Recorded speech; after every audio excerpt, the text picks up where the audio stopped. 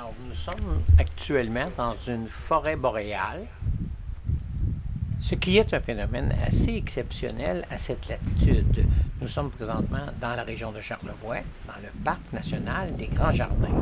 Or, nous sommes également, euh, par rapport au niveau de, au niveau de la mer, nous il y a un dénivelé quand même assez important, puisque le mont du lac des Cygnes se situe à 981 mètres par rapport au niveau de la mer. Et lorsque nous nous rendons dans un magnifique parc, pour y accéder, nous euh, devons euh, monter des côtes quand même assez importantes. Alors voilà. Euh, OK, alors instant replay. Alors nous sommes sur le quai euh, devant le chalet ici à Tabasca. Alors voici un petit coucher de soleil qui pointe à l'horizon. Micheline fait une expédition sur le lac euh, dont vous pouvez admirer la vue. Alors voilà.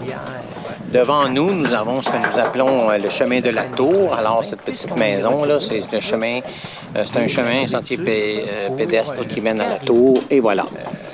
Espèce en voie de disparition actuellement, le caribou des bois qui se tient là et se nourrit particulièrement de ces différentes plantes que l'on voit ici.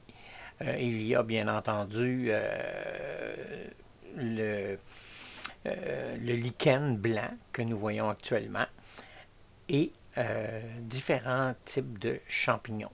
Alors j'espère que ce petit parcours vous aidera à mieux comprendre la, flore, de ce magnifique parc et je vous incite à y aller ardemment.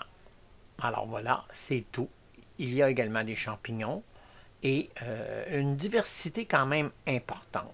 Alors toutes ces magnifiques photos, ça c'est un peu prétentieux, ont été prises avec une GoPro 10 en expérimentation. Voilà.